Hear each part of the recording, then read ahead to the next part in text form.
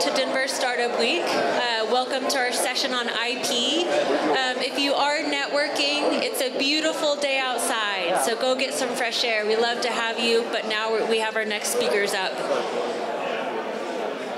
Thank you. Someone to whistle. All right, so for our next session, um, we're very glad you're here. I hope you do learn something from these incredible speakers, but also just say hello to the person next to you. We found a lot of Denver Startup Week is just about networking, um, getting to know others in this community. This truly is a give back um, community, part of Denver, Colorado. So, um, yeah, meet other people here um, and stay long and enjoy. So I have the pleasure of welcoming you to our intellectual property session. We have Zach, Randy, Lou, and Manny. So give it up. Thank you. Thank you very much. Bye.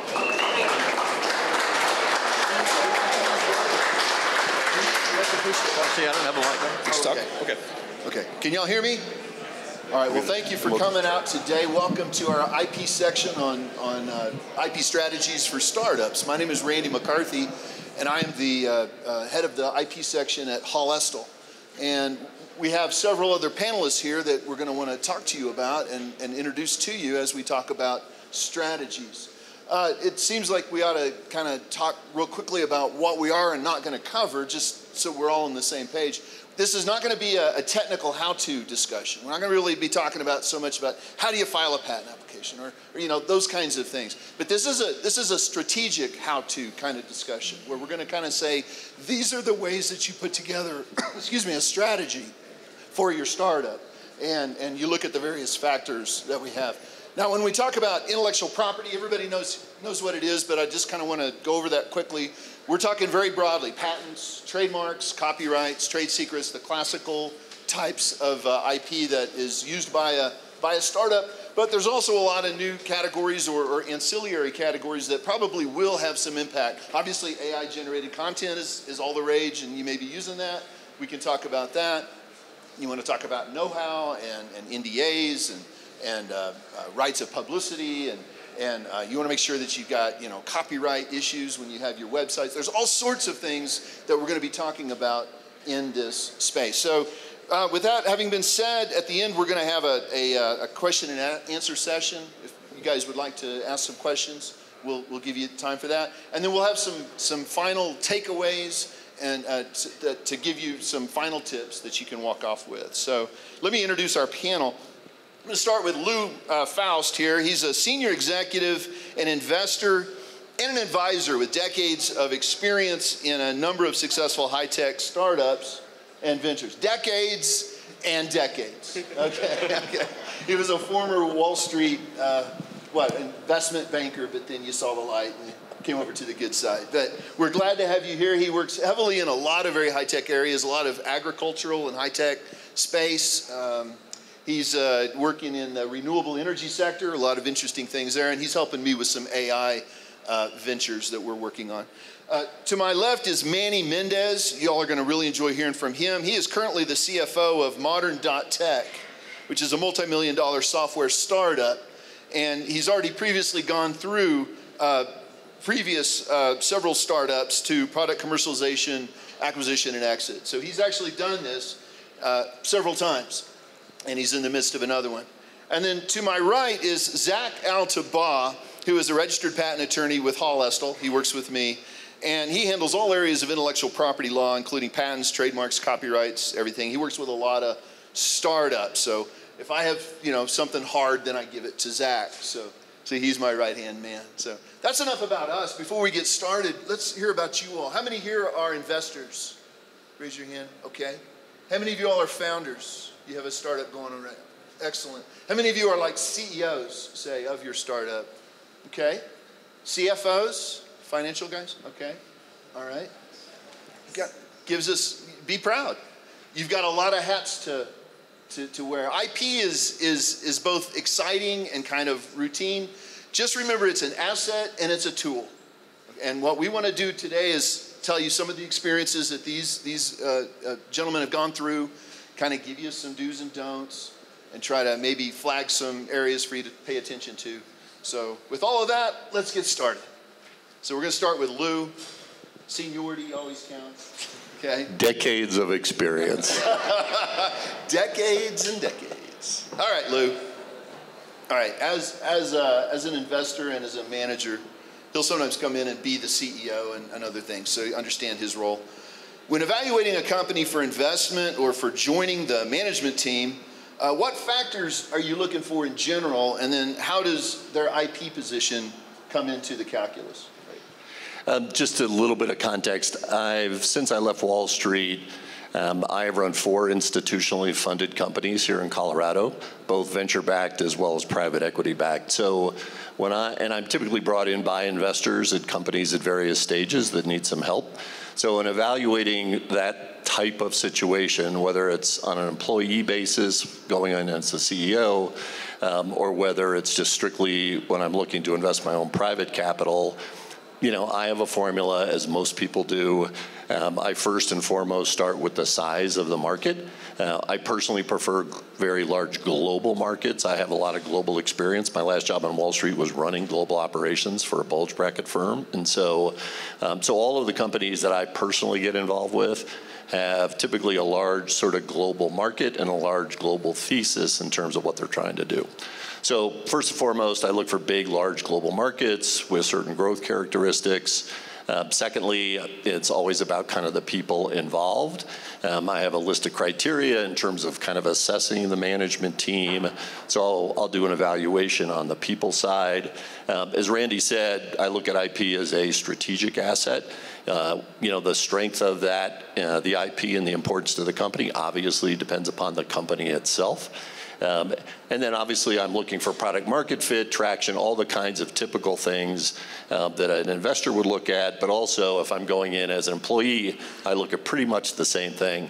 Uh, the same characteristics kind of on either side.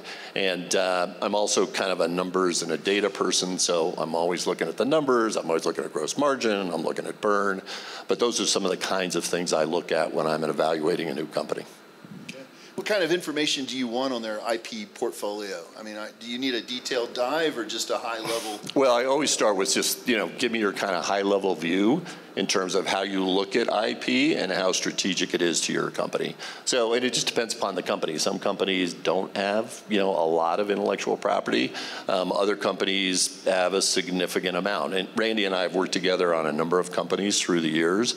Um, and, you know, we've had everything with a founder who is so um, careful about their IP that they won't even allow any of their IP to be evaluated unless someone actually comes into the office. That would be one extreme. Um, and then other companies that are a lot more kind of open about their willingness to talk about it. Um, so it really just kind of depends upon the company and the value of the IP to that particular overall strategy. Again, you know, IP is a strategic asset, so you have to have a strategy. It's a derivative strategy of your overall company strategy, and that's how I look at it. Okay, that's great. Thank you. Let's let's turn to Manny then. All right, you ready? Sure. Yeah. As as we said, I'm going to ask a question, but you can basically answer whatever question you want to answer. Sounds good. Okay. Okay. All right in each of your startups, Manny, what were the types of uh, IP that you got uh, that you pursued? You know, patents, trademarks, and so on. And and how did you go about? Since you were on the inside, you know, going going up, how did you identify what you should go protect? Absolutely. So I've worked in hardware, patents, and software, and also trademarks. And so for this particular conversation, I want to focus more on trademarks because I feel like for startups, that's the one thing you always have to do because we all got to get a name. So I'm curious, and that's something that I am. I'm a very, very curious person. How many of you talked to an attorney before you picked your name of your startup? Interesting. How about your domain? Interesting. So just imagine that two years after you've launched your startup, you have to change your name because you didn't do your due diligence. Imagine those conversations you're going to have with your investor if you did not talk to an attorney. So here's an example of what I'm going through literally as of last week. My company, Modern.tech, started receiving quite a bit of inquiries from people who just didn't know, telling us how bad of a service we we're doing or bad technology. And but we didn't know him. So I told my my support team, hey, why don't you go out and find out what's going on? Go call these people. Well, what ends up happening is that we had a company who just changed the domain to match ours. Interesting. So my CEO is like, scorched earth. Come on, cease and desist letters. I'm like, well, it's cooler, Jets. Come on. I'm gonna make a call because I've learned to make a call. So I called Zach. Zach is someone that I trust. I've known him for 15 years. And so first thing we started is like, well, let's look at your trademark. Perfect. You've had it a year ago. I'm like, yeah, I made sure of that. That would have been really bad. Uh, well, what happened is that there is this thing called the opposition period, which I was not aware. And what that really means is that I still need to wait. Even though my trademark's pending, it's, it's live now, if someone can com- complains, I could lose that patent. Or that trademark, sorry. Whoa, that's good that I ask because that's the last thing I want to do is to start a fight before I have a trademark and that's the value that I think is why we're all here. Is those questions? It's not the questions that you don't know. It's the questions that you don't even know to ask, which is why it's so important as a startup to have good people around you. Anyway, the opposition period is done today, so yeah, we're gonna go in a fight. Did you? Um, you said you're a software company right now, and have you looked at patenting some of the software? Have you looked into that, or have you done that in the past? Have you pursued? the patents in the computer-related type inventions? I have. Uh, what, what do you think about them? They're okay. I mean, the hardware it's easier to protect, in my opinion, because software, well, it's in the black box. Good luck finding what's going on in the back in the code. Um, but I really more, as entrepreneurs, I like to focus more on the strategy and the market need because we're doing so many things. The last thing you want to do is get in a fight with a Fortune 500 company with a mass bigger, bigger budget. I mean, just think about how to run away, make your investors run away from you. It's like, I just got in a fight. yeah. No, that's true. Yeah. That's absolutely right. I suppose, though, on the other hand, it gives you a seat at the table with the bigger companies to have some assets locked down, if, if it makes sense to patent them, uh, you know, to have that as part of your portfolio.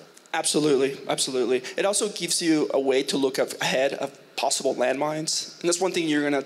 That's true that's one thing you're gonna learn about what I do a lot is I have that risk hat, right? I picture it as like red hat with like fireman, but not really. But basically, that's what I do. I have my risk hat on to make sure that uh, my startups don't fall into traps because it's so easy to do, it's so easy to fail. That's why you have to have the risk risk hat on. Okay, so like that's yep. like some landscaping. Yes. Okay. Absolutely. Right, that's good. Okay, thank you. All right, Zach, you're up next. Um, why don't you tell us? You, you, you see a lot of uh, new clients, people come in, prospective clients. You're obviously happy to talk to anybody. Uh, some of them you wind up thinking that they have something and you move forward. So think of that class of people. What does everybody walk in telling you? What, what do they not understand or, or what do they have right? What are the things that you wind up telling every single person that you, that you talk to? You got a shot here to tell everybody at once. Yeah, definitely. So, uh, can you hear me? Uh, I hear you. We gave you the. the I got the dud. All right, can you hear me now? All right, perfect. Um, so the first thing that I like to tell anybody that comes to me with uh, an idea of patenting is, do you have, have you, are you solving a problem? Is there a problem out there that you've identified? Is there a need for this product or service that you're offering?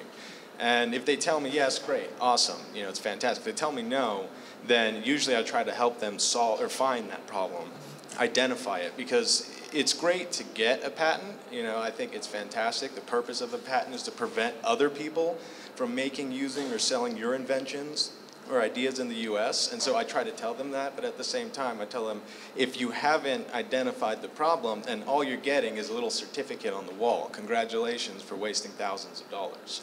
Um, and so I think that's something that I always end up saying to people that are trying to at least look for you know a patent. When it comes to trademarks, it's kind of like what Manny said: is have you done any due diligence? You know, if you're coming uh, to me to try to seek intellectual property protection, what have you done? Who are you servicing? What is the product? Do you have a product? Do you have a service? So it's just trying to identify and see and help the people that are coming to me understand like what you're getting is an asset. It's ultimately an asset but is it an asset that someone's going to want? Because if it's not something that someone's going to want in terms of like a product, for instance, then maybe it doesn't make sense to pursue a patent. Maybe it makes more sense to keep it tight knit, get NDAs, protect your product, protect your unique idea so that nobody else is going to get it. But if it's something that people are chomping at the bit for, well, we got to go protect it, obviously. And how do we protect it? Well, uh, how far are you along?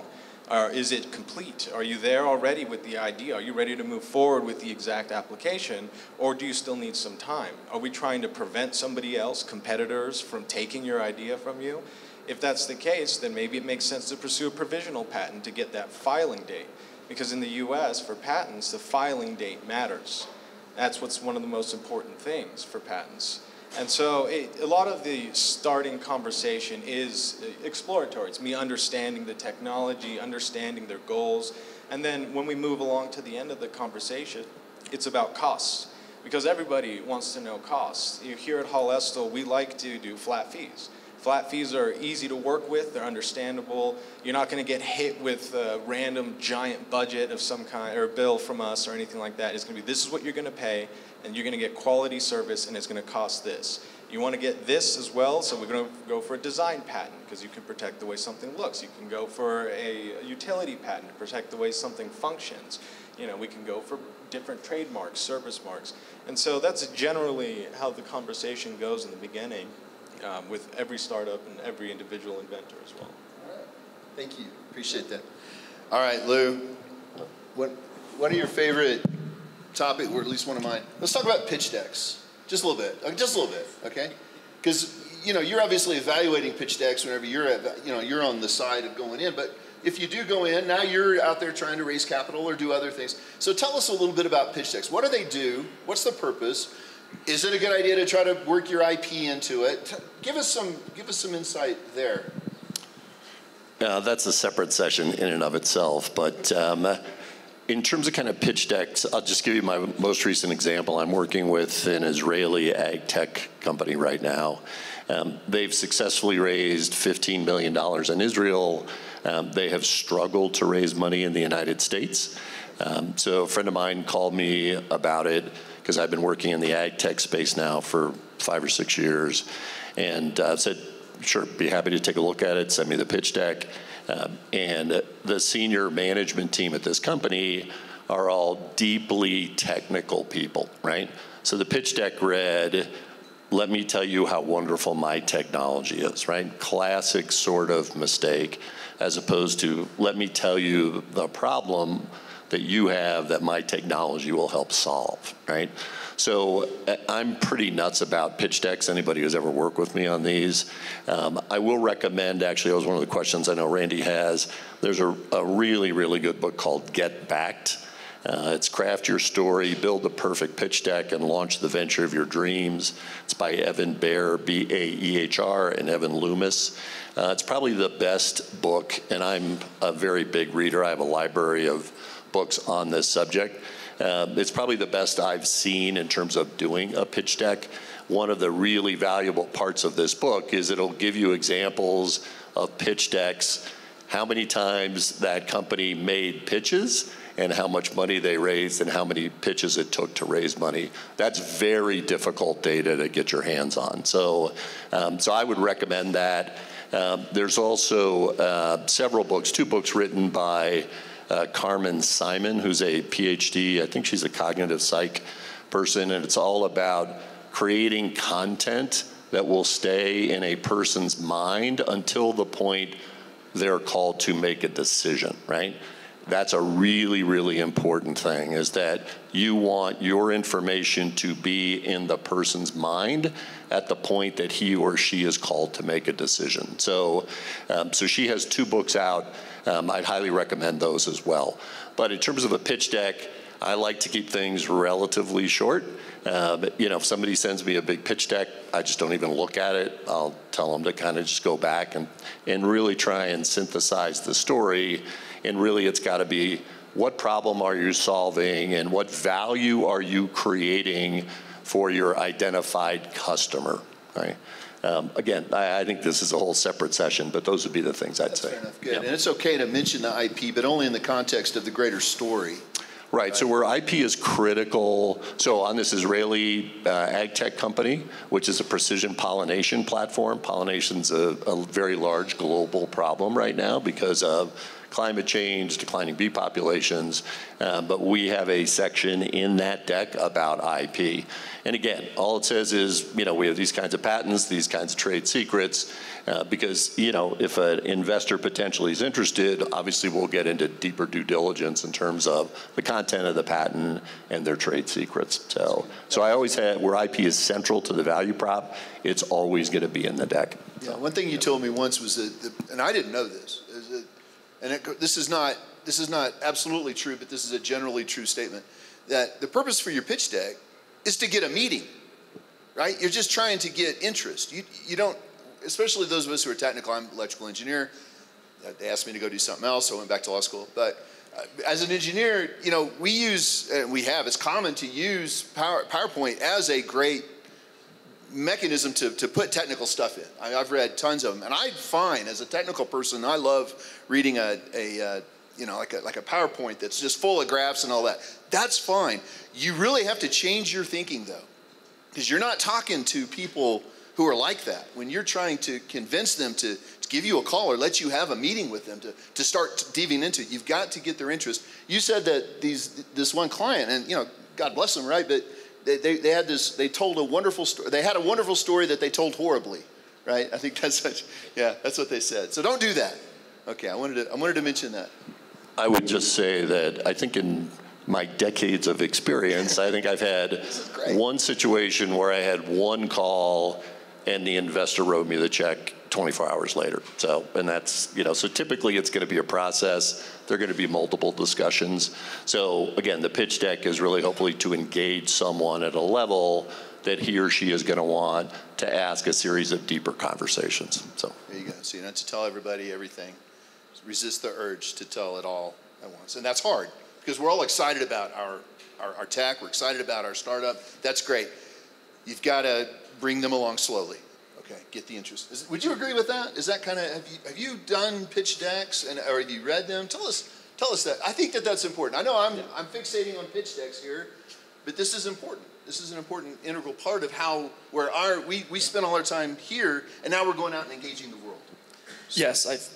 I've done, seen many pitch decks, and the one, the one of the worst ones I saw was uh, so one of my one of my uh, classmates uh, came back to call me because he had a deal with a with a friend of his who was trying to buy a second tier, a second I don't know if that's correct, but second tier uh, soccer team from from the Premier League, and so he sends me this pitch deck, and I'm not. It, it looked like a dictionary it was insane. It was like 25 pages.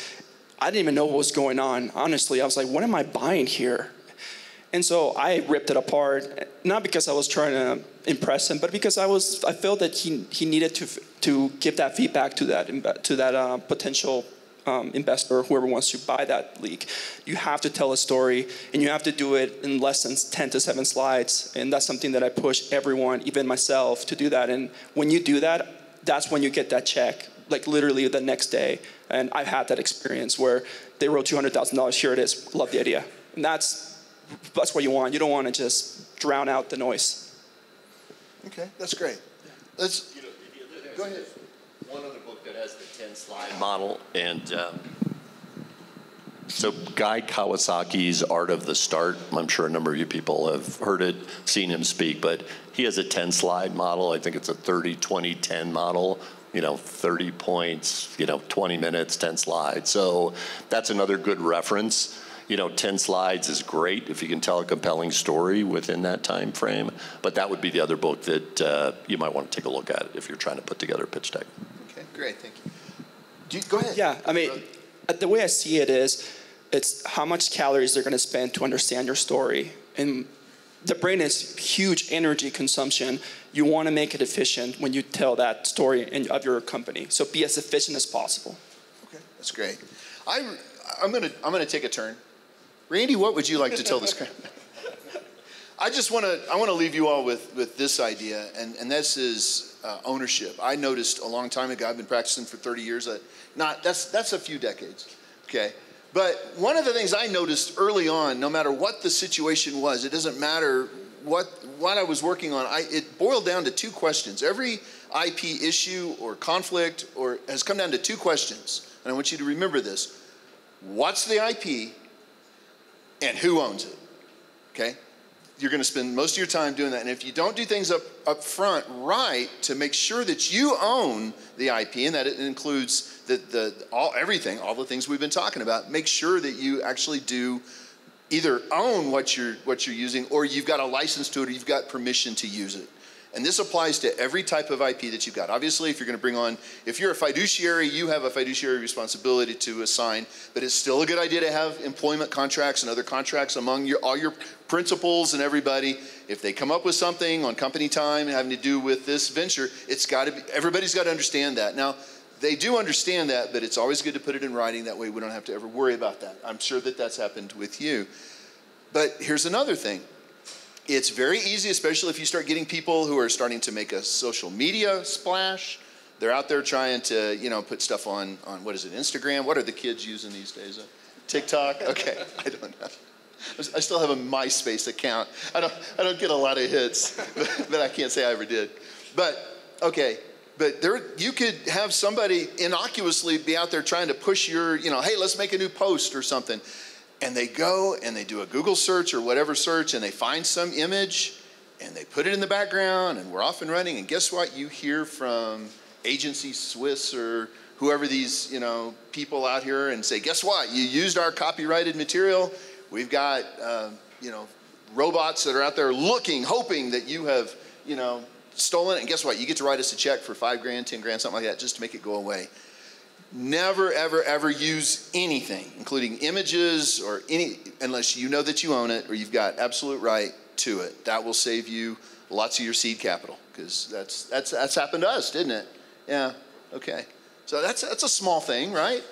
But this is being aware of what's your IP strategy, being aware of what is the IP. Everything is owned. It has value. Let's protect it. Okay? Let's, let's, let's, let's keep it secret. Let's keep it safe. Let's protect it in a way that makes sense and make sure that we know who owns it. And, and you know, the other thing that I'm going to tell you is that you think you got to think in terms of defensive strategy. You want to make sure that we don't infringe somebody else's rights. It's not possible to do that 100%, but there are a lot of tools out there. To the extent that you can, you want to make sure that you can practice it. And then to the extent that it makes sense, which is a marketing decision, you want to go out and take affirmative steps like patenting and things like that. These are the kinds of things that you tell the clients when you see them. Okay, very good. Okay, so what would you like to talk about next? What would you like these guys to know? And, and ladies, I mean, people, these, yeah. these, these persons. I, I think for me, it, as, a, as an entrepreneur or founder, a lot of these strategies for IP really comes down to market needs. So one of the things I'm really love doing is bottom up research. So there is this professor, Danny Warshay at Brown University of School of Entrepreneurship. Uh, he has a great story about that, which is the Tide detergent. So if you heard the story, uh, here goes. Uh, back in the day, in the 90s, uh, there was Tide detergent was this big box, massive box, and it was a powder form. And what they wanted to know, the product team at uh, P&G, was how people were using their product. So they started going to people's houses. Lo and behold, they got to the house and gave this big box of Tide to a lady. She grabs this box and sets it on the table and then proceeds to stab it with a big old knife. And the product team was perplexed. They're like, what are you doing? Why are you opening the box with a big knife? It's like, this is how I've used your product for 30 years. Well, that's interesting. So they went out and other houses, and lo and behold, they found out that people were doing that. They were using a knife to open the box. And that's what inspired Liquid Tide, which was a product that, one, was easier to carry, and two, you don't need sharp objects to open. And that's the beauty of bottom up research. And so, with any strategy you're going to do when it comes to IP, going to market, make sure that you're solving a market need. That's the most important thing. Empathize with those users. That's excellent. Okay, thank you. Lou, what else would you like to tell the crowd? Uh, just a couple things. The situation that Randy talked about uh, was an ag tech company, I think the second ag tech company that I did, and was brought in by the venture investors. And the founder of that company had thought she had innocently used an image that was in, she thought was in the public domain. Turns out somebody actually owned that image, and I think we ended up writing a check for $5,000. So, to Randy's point, you know, the devil really is in the detail here, and you really have to have somebody who's really paying attention to these issues. Otherwise, as he said, you're going to end up using some of your capital to uh, to take care of some of these problems. Um, the first ag tech company I was brought into, they had the naming issue, and they picked a name that was very close to another company, and they ended up having to also write a check, and then also for a period of time had to have on their website, we are not this other company whose name was very similar. So, um, so attention to sort of the detail at the front end here um, can have a, a, real impact in terms of your company and where you're going to have to spend some money. So, you know, to me, again, you know, echoing I think some of the comments here. First and foremost, it's do you really understand the problem that you're trying to solve, and can you do it in such a way that you can actually make the kinds of returns on any investor capital, right? Because as soon as you start bringing in institutional capital, whether it be PE, strategic, uh, venture, you know, you now have a very different world that you have to deal with as the CEO of a startup, right? So when I'm working with um, CEOs, because one of the things I do now is I do work, work with some early stage CEOs, and I always sort of advise them once you take institutional capital, your world has fundamentally changed. And I always tell people assume you're going to spend 25 to 30% of your time dealing with investor related issues. Now, that may sound high. Um, you have to be very thoughtful as a CEO in terms of who you take as your capital partner. You need to do as much due diligence on them as they're going to do on you right? So you really want to make sure you are aligned in terms of how you're thinking about the business, how you're thinking about the opportunity, um, and really, you know, the kinds of fiduciary obligations they have to their limited partners, you know, those are things you as a CEO need to be aware of and conscious of as you build your company. So those would be some other. Great, thank you.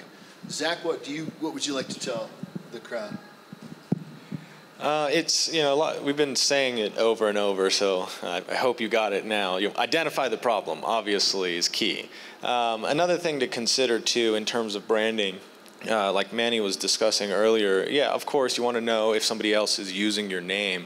Um, but something I've actually seen um, a lot, or happening a lot lately, and it's kind of a PSA for everybody, is if you get an email from a random email from some company that says that you know you, you, let's just say you filed an LLC, you just opened an LLC, you get this email and they say we are going to file a trademark on your name unless you work with us to get your trademark. Likely a scam. You know, yeah. I've gotten probably six calls, people freaking out, clients of ours freaking out you know, oh, oh they're going to take my trademark. I only have a state trademark. What's the difference between a state and a federal registration? And so I, I calm them down, like, this is likely a scam. Let's identify it. Let's check it out, see if it has any legs. Uh, most of the time it's been a scam, but then it opens the door to the conversation. Well, are you nervous that somebody's going to take your trademark? Are you nervous that somebody's going to take your goodwill from you, tarnish your business names with inferior services? I mean, if that's a real concern, why haven't you trademarked? Uh, it provides a level of um, legitimacy to your business. Uh, and I think it, in terms like this, it helps alleviate um, or at least forestall any of these kinds of issues. Um, again, due diligence is important. I, I emphasize that, I can't emphasize that enough you know, you don't want to get into a trademark battle. I don't like having to deal with demand letters from a client perspective. Um, I don't mind issuing them out either. Uh, so don't take my clients' trademarks. Um, but that's uh, that's kind of the point that I think um, we try to provide here, just some value. And I think that ultimately, if you are going to pursue IP, you should talk to somebody. It's important. Uh, it could be some of the most important assets that your business owns.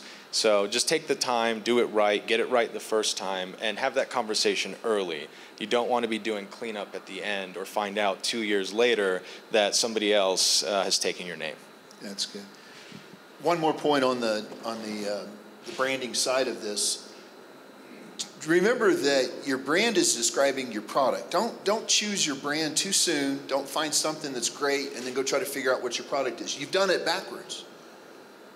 You're not going to like what I'm about to tell you, but your brand is secondary to your product. Make a good product, make a good service, and you can slap anything on there, and over time, that is going to be a great product, a great brand.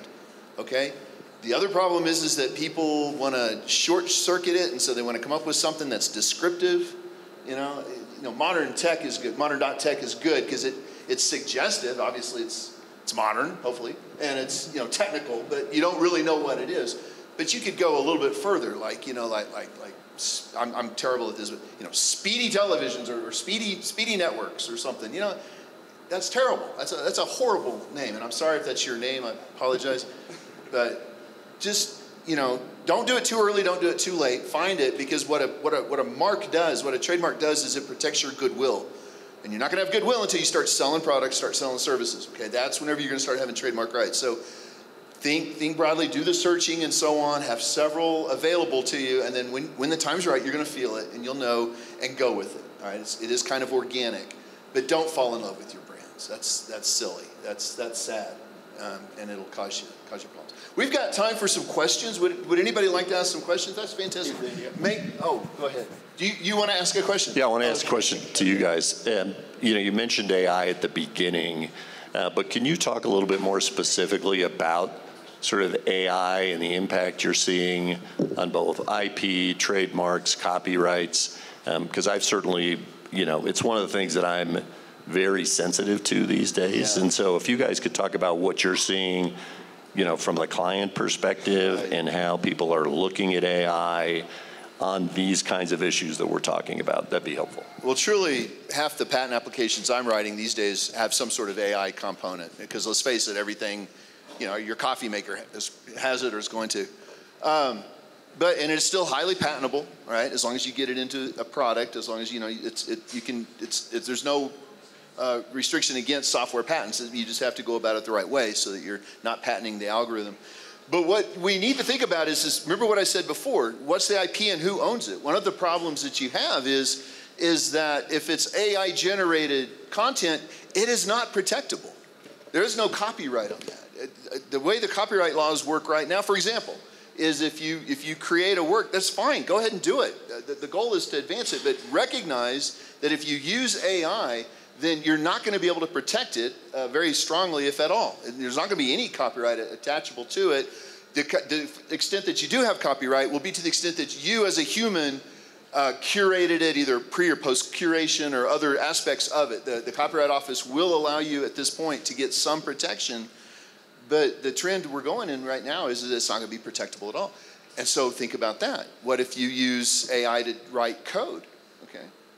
Well, that's fine. I, I assume it works, right? It's not going to be original. It's going to be based on what's already been trained. So don't expect innovative code. But if you need that, but a question you got to ask is, what if you claim somebody against somebody copyright infringement and they come back and show, well, yeah, but half your code is is, uh, is, is AI generated. I mean, that's going to impact the value of your, of your IP. So be smart about, about that. We're just on the beginning cusp of this. You know, rights of publicity. What, California just passed a couple of, laws that look pretty good about trying to protect people. This is going to ripple through our entire society, right? And nobody knows yet what's going to, what all is going to happen.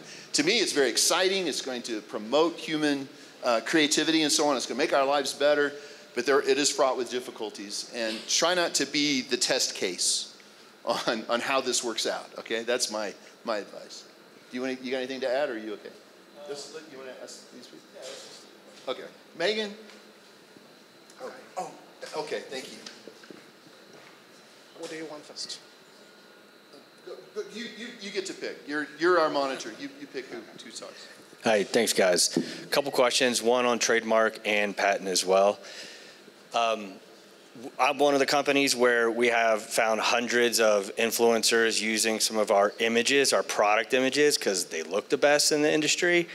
Uh, some have just straight out used them. Others have um, cleared off the label and, and used theirs, but it's obvious it's ours. So I was given uh, counsel by an attorney that said I didn't have standing to go after them until I actually had it registered with the UPTSO on the federal level. So I'm curious if there is any sort of poor man's uh, copyright on, on that uh, front, but, but also um, uh, because there's like, is, would an or, ornamental uh, patent be best to sort of give the overall look? Okay, there's that. And then um, uh, on the, on the uh, patent side, if we have an internal logistic piece of software that helps us internally, right? And uh, there was a competitor who may have developed their own.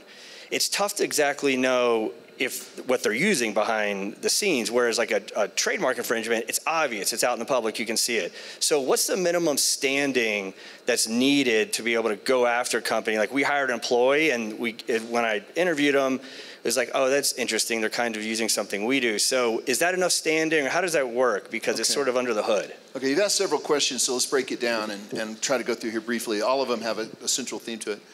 Um, your best bet this, this is practical advice, okay? Like I said, this is not a highly technical discussion. This is more strategic. The real question is, is, is that why not just let them get away with it? I mean, ask that question. Sometimes other people kind of using your marks or doing other things, that's not always bad. You know, it, so so evaluate that. Don't just don't immediately go into what you call it bulldog mode or what? Oh, scorched earth. Yeah, scorched earth mode. Don't immediately do that because these people, it, it might be to your advantage to just kind of let it slide or you know, send them some swag or something. I don't know. Make them, get them on your side. Uh, to the extent that there is some really egregious bad stuff going on, takedown notices are, are, a really good idea. That's probably the most effective way. Probably the reason that your attorney told you that is, is because it's easier to get YouTube or one of these other things, whatever the kids are using, to, to honor a, a, uh, a takedown notices is that if you show them a registration that, that's easier, so that's probably the, that context. But copyright is the other thing. If you can show copyright, infringement, if you can, that they're going to. I mean, everybody's going to jump. You're going to get immediately taken down. So try to try to phrase it that way. Your second question had to do with ornamentation, and at that, this point, I'm going to turn it over to you because I don't remember yeah, so essentially for design patents, you're protecting the ornamental appearance of something. So uh, it doesn't protect functionality, it just protects how something looks. So in this case, if you have a unique design, if there's some element that's not out there in the world that nobody else has seen before, um, or there's something that's not too similar, then you might be able to get a design patent. The only issue that I see immediately is that it looks like it's already out there. So uh, there is such a thing called a public disclosure. Um, if you publicly disclose your ideas, your designs, etc., um, it, you start a clock un unintentionally. You start a clock. You have 12 months from the date of that disclosure to go file a patent. And if, if you don't file that patent, then you lose those rights. It's now part of the public domain. So that is another thing to consider is when did you make this product available? Are you making sales on it too?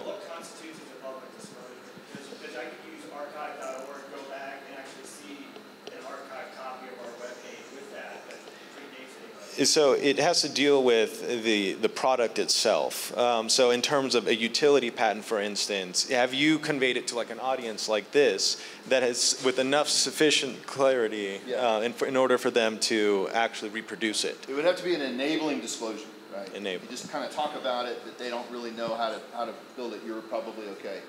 But if you open the kimono, excuse me, but that's you know a phrase, then you're you know if you're outside the 12 months, and you're outside the 12 months. Okay. Pick somebody else for us. Hi there. Thank you for all the insight. Um, just had a question. Wondering if um, if if you can patent a common product uh, if you're using a new material.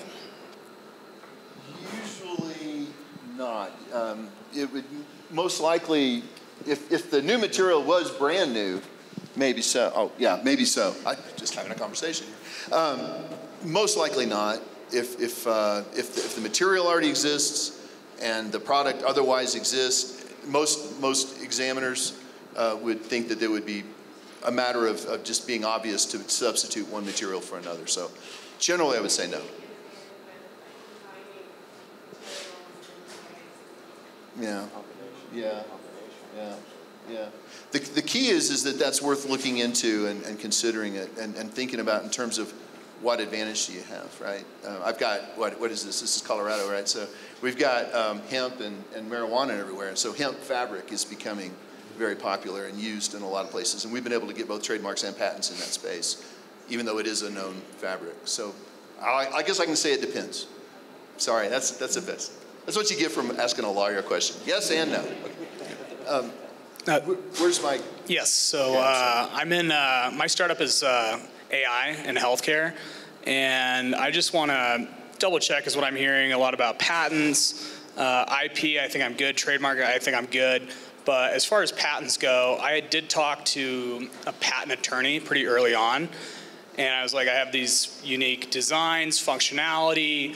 Should I actually move forward in that process? And he said, well, it's moving so quickly. You're going to put it out there. It's public. Anybody can look at it, and somebody can ch- somebody can build it themselves and make a few modifications, like a bigger player.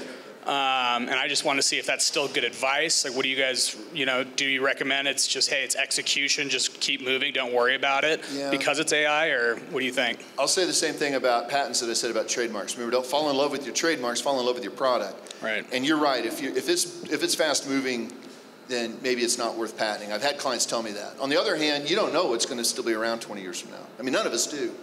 So you're just making an investment. I can't say that you got good or bad advice, but you Mm-hmm. Got advice. So Right. I, I patent stuff like that all the time. Uh, Okay. Go ahead. Yeah, thank you. So your key takeaway number two, always ask what, it- always ask what is the IP and who owns it. So in my team, um, one of the developers, when he was in graduate school, he paid for a license that says for educational use only. And now we're, we're going to commercialize a product. So he reached out to the to the owner of the IP and said, "Hey, I paid you for an educational license. Um, I'd like to get a license to commercialize it." And the guy DM'd him back uh, Discord says, "Oh, it's fine. Go ahead and use it. It's all good. No worries. You don't have to pay me anything." So my question is now: Do I have to ask a lawyer and get this papered, or is it good enough that we have the the patent, the IP owners? If you have it in writing, Yeah, we have it in writing. if you have it in writing, even if it's an email, I would. I- Yeah, it's a dis- it's on Discord. Yeah. Okay, you haven't put five dollars in my pocket. Okay, so Yeah. I've just given you some. I know it's worth what you, it's worth what I'm paying for. But generally, Yeah. you, you, you've got to make sure that you have, um, you know, if, he's giving you a license, if he said it's okay, it's okay. Yeah, he said it's okay, and I'm buying you a beer.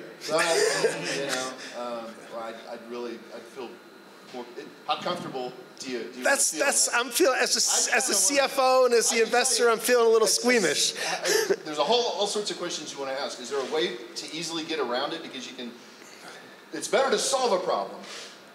You- You know, if you can, if you can get rid of a problem, then that's what you want to do. Rather, you know, if, if you can. So if you can work around it and, and come up with a new solution that doesn't use it at all, that would be my advice. But next is I would. Yeah, we could we could build our own. Good. Well, then that's I'd, it'd be worth doing it to not have to worry about. it. Okay, thank you. How much time do we have left? Three minutes. How many? Three minutes. Okay. Um, let's. Would you ask this lady? Hi, my name is Olympia. I have a um, an AI um, MVP, and it's for um, uh, helping people passing like licensure exams. And so the point is, right now the AI is like growing and speeding up, and there's always something coming new every week, and everybody jumps on it, and there's trends and this and that. Um, so how would I be able to protect this? Because it's not just, I mean, I see the AI as a tool, like, okay, I have screwdrivers and all of It's a that. tool. AI is a tool. So I can build a car or I can build uh, an airplane or whatever, right? So the point is, how do I, let's say my thing is an airplane, so how do I protect the, uh, the airplane, my, my product, uh, which runs with um, AI. And by AI, I mean not just generally a large language model, but it also uses, um, there's uh, like open source um, companies, let's say, that uh, provide open source. Right. But uh, the idea is that I use this plus that plus that to create the product. Okay. So how can I protect this? Well, remember what, what it says up here somewhere. It says, what's the IP and who owns it? And if it's open source, great. make sure you're following those open source licenses because there are restrictions on that. Another issue that we didn't talk about, and I know we're just out of, out of time, but this is going to be litigated, ultimately solved by Congress.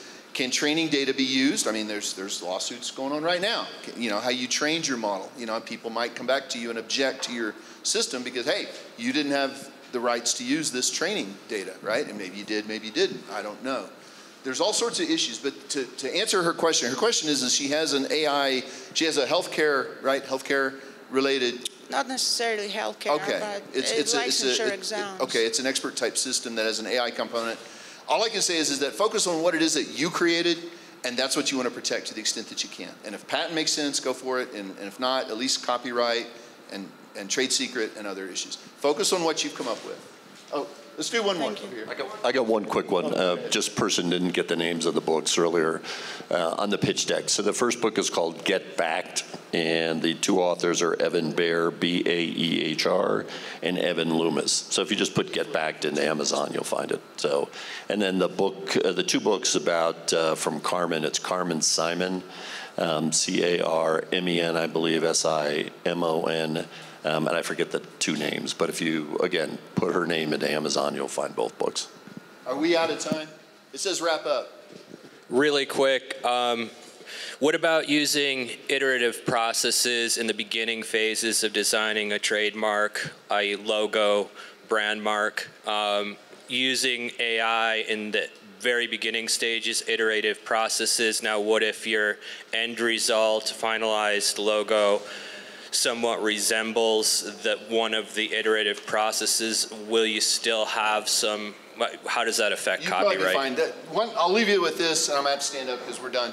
Um, the question, the good news is, is that uh, as far as AI is concerned, you're probably fine in the area of trademarks because trademarks, as long as you're not violating somebody's copyright, which you wouldn't be in this case, it's it's the actual symbol or the or the, the, the logo or or whatever it is that you're using word that identifies your source of goods and the goods you put into commerce. So nobody cares if it's been created by AI or not. So you're probably fine. Um, just to clarify, on the other end, protecting our own IP after that. Yeah, yeah uh, you're you're limited to the extent that it's AI generated, like like we were saying. So I'm, I'm sorry I can't do any more than that. You all have been a wonderful group. Thank you all so much for coming. Can we give us a, a round of applause to the people?